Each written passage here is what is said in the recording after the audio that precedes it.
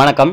CSIR அப்படின்னா council of scientific and industrial research அப்படின்னு சொல்லுவோம். அதுக்கு கீழே எங்கப்படக்கூடிய ஒன்று தான் central scientific instruments organisation CSIO அப்படின்னு சொல்லுவோம். இதுல சில டெம்பரவரி வேகன்சிஸ் ரிலீஸ் பண்ணப்பட்டிருக்கு. அதை பற்றி தான் பார்க்க போகிறோம் ஆர் அண்ட் டி ப்ராஜெக்ட்ஸ்க்காக ஒர்க் பண்ண போறீங்க. இதற்கு எப்படி விண்ணப்பிக்கலாம் அப்படின்னா இமெயில் மூலியமாக தான் விண்ணப்பிக்கணும். இப்போ திரையில இருக்கக்கூடிய Manoj underscore Patel at CSIO dot R E S dot in அப்படிங்கிற இந்த மெயில் ஐடிக்கு அப்ளிகேஷன் ஃபார்மை அனுப்பணும் அப்படின்னு சொல்லியிருக்காங்க.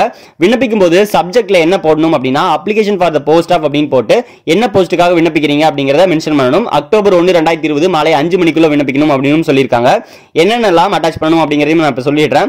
Application form educational qualification certificates and then experience certificate date of birth certificate இது எல்லாத்தையுமே ஒரே பிடிஎஃப் ஃபைலாக கன்வெர்ட் பண்ணிக்கோங்க. சிக்ஸ் எம்பிக்குள்ள இருக்க மாதிரி கன்வெர்ட் பண்ணி அப்ளை பண்ணிக்கோங்க. அந்த பிடிஎஃப் ஃபைலை நீங்க எப்படி சேவ் பண்ணிருக்கணும் அப்படின்னா post name under score candidate name under score date of birth அப்படிங்கிற இந்த ஃபார்மேட்ல நீங்க சேவ் பண்ணிருக்கணும் அப்படின்னு சொல்லியிருக்காங்க.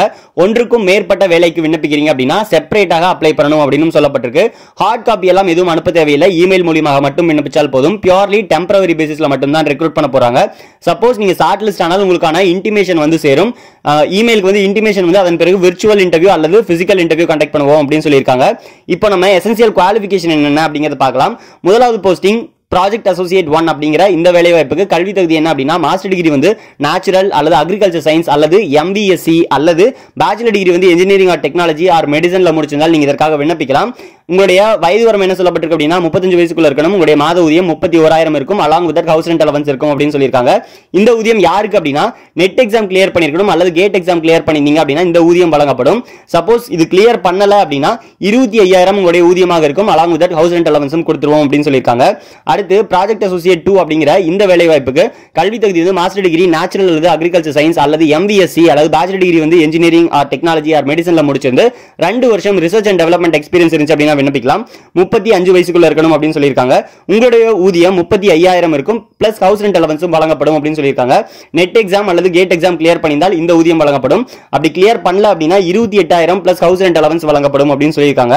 அடுத்து சீனியர் ப்ராஜெக்ட் அசோசியேட் அப்படிங்கிற இந்த வேலை வாய்ப்புக்கு மாஸ்டர் டிகிரி வந்து நேச்சுரல் அல்லது அக்ரிகல்ச்சர் சயின்ஸ் அல்லது எம்பிஎஸ்சி அல்லது பேச்சுலர் டிகிரி வந்து இன்ஜினியரிங் அல்லது டெக்னாலஜி அல்லது மெடிசன்ல முடிச்சிருக்கணும் அப்படின்னு சொல்லியிருக்காங்க. Four years research and development experience இருக்கணும் அப்படின்னு சொல்லப்பட்டிருக்கு. இந்த எக்ஸ்பீரியன்ஸ் இல்ல அப்படிங்கிற பட்சத்தில் டாக்டரல் டிகிரி வந்து சயின்ஸ் அல்லது இன்ஜினியரிங் அல்லது டெக்னாலஜி அல்லது ஃபார்மா அல்லது எம்டி அல்லது எம்எஸ்ல முடிச்சிருந்தீங்க அப்படின்னா நீங்க இதற்காக விண்ணப்பிக்கலாம். உங்களுடைய ஊதியம் நாற்பத்தி ரெண்டாயிரம் பிளஸ் ஹவுஸ் ரெண்ட் அலவன்ஸ் இருக்கும். நாற்பது வயசுக்குள்ள இருக்கக்கூடிய நபர்கள் நீங்க இதற்காக விண்ணப்பிக்க முடியும். இப்ப ப்ராஜெக்ட் நேம் என்ன அப்படின்னு பாத்தீங்கன்னா electrostatic dust mitigation and environment protection device அப்படிங்கிறது அந்த ப்ராஜெக்ட் நேம் இதற்கான வேலைவாய்ப்பு ப்ராஜெக்ட் அசோசியேட் ஒன் அப்படிங்கிற வேலைவாய்ப்புக்கு ஒரு வேகன்சி ரிலீஸ் பண்ணப்பட்டிருக்கு.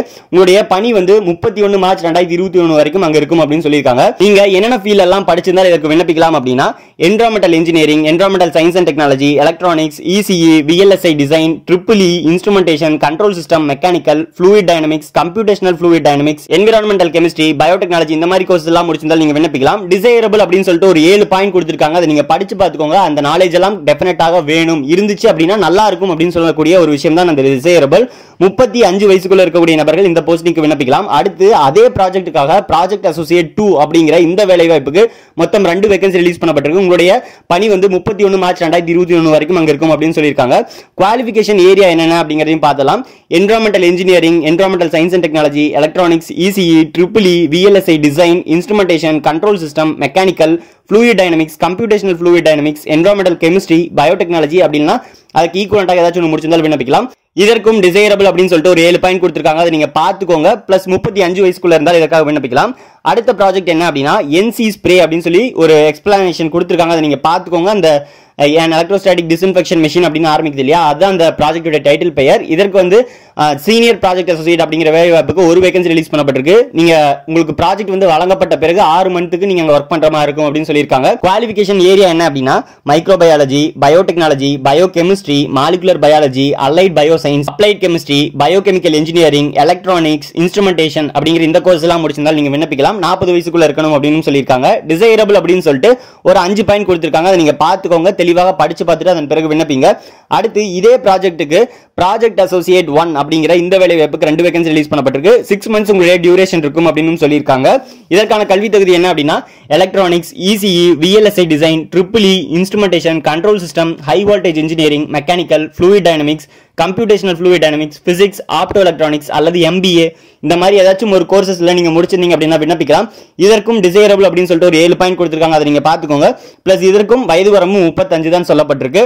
இதோட சேர்த்து இன்னும் அதர் பெனிஃபிட்ஸ் அப்படின்னு சொல்லிட்டு என்னென்னலாம் வழங்குவாங்க அப்படின்னா அக்காமடேஷன் கொடுத்துருவாங்க ஃபுட் ஃபெசிலிட்டிஸ் கொடுத்துருவாங்க. அதோட சேர்த்து கேம்பஸில் இருக்கக்கூடிய இதர சில விஷயங்களை நீங்கள் யூஸ் பண்ணிக்கலாம் அப்படின்னு சொல்லியிருக்காங்க.